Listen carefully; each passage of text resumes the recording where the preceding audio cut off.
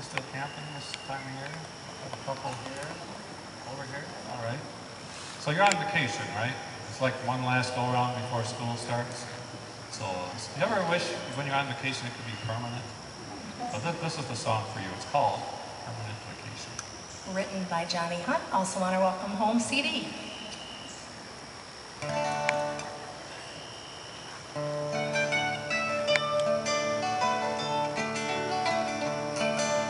driving home from work at the end of the day. I'm starving.